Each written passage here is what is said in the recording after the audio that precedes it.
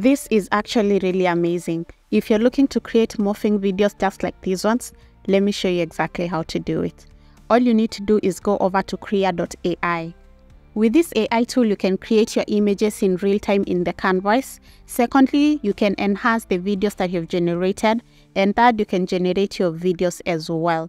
At the very top, click on sign up and you'll be able to use your Google account or any other email address that you have to gain access. Now click on start and the video generation page will open. So this is the video generation page and here is the generate button. Next, we have the settings and from the settings, you can choose the aspect ratio that you want from landscape to square and then to portrait. Next, you can go ahead and choose the motion intensity. So the higher the intensity, the more the elements in your videos are going to move. The opposite is obviously true. Now in the loop video feature, you can choose to either put it on or off depending on whether you want your video to loop or not. Next, we have the styles and we have the film style. Next, we have the render. We also have the animation style and the experimental style. Below the generate button, we have the upscale button and you can use this to upscale your videos. On this side, you can choose the length of your clip. So you can choose between 1 second to 10 seconds. If you need a longer video, I'll show you how to do it. Now here is the keyframe area and here is the prompt area. If you want to delete any of your images in the keyframe area, all you need to do is go to the image and click on the delete button. So if you want to delete a prompt in the prompt area, all you need to do is do the same. Just go over to the specific prompt and click on the delete button. You can also drag an image in the keyframe area and you can place it exactly where you want, just like this.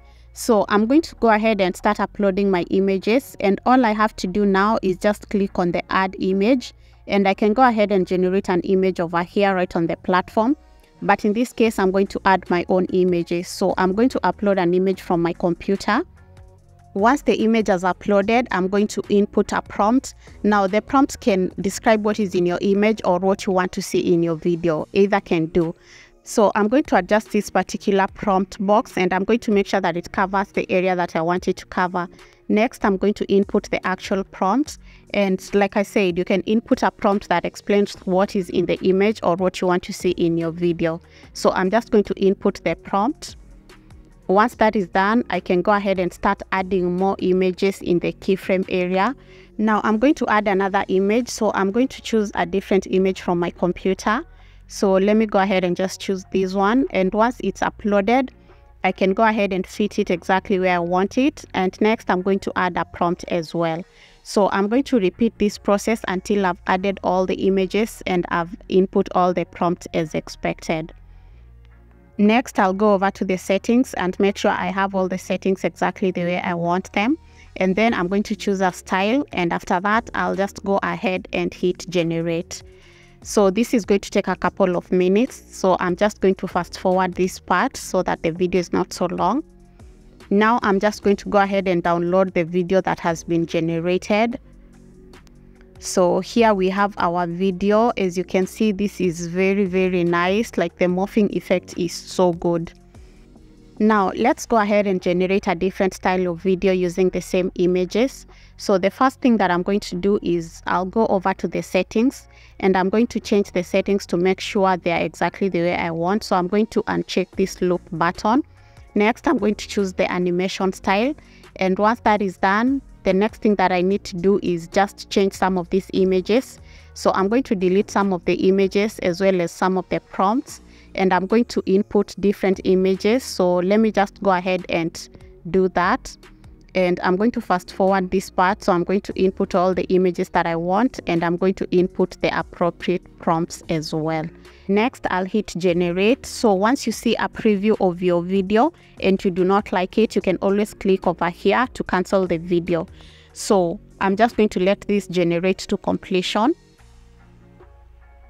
and now our video is ready so i'm just going to download this so that we can view it on a bigger screen so again i'll just go ahead and hit the download button Now, so here is our video and as you can see, the transitions between the images are so well done. They are so, so beautiful. Like the video is just beautiful. Now let's go ahead and try a different style. So we're going to try the film style. And for this, I'm going to upload different images from the ones that we've been using. So the process is the same. So I'm going to fast forward this part. Next, I'm going to choose the settings that I want. And once that is done, all you need to do now is go over to the generate button and just hit generate. Our video generation process has started and I'm just going to give this a few minutes as well. So the preview of the video is ready and remember at this point if you do not like the kind of results that you're getting for your video, you can always go over to the generate button and all you have to do is click on it and it's going to cancel the video generation process. So I'm just going to let this generate to completion and now I'm going to download it. So here is our final video and as you can see the morphing is really good like this is a really really good video. Now let's go ahead and generate a video using the final style that is render and I'm just going to click on generate and generate using the same images and the same settings. The video is ready as well so I'm just going to go ahead and download this. So here is the final result and as you can see, it's just as good. It's just that the style is different, but the video quality and the morphing is actually really good. Now, if you want to generate a video that is longer than 10 seconds, all you have to do is use the last image in the keyframe as the first image in the next video.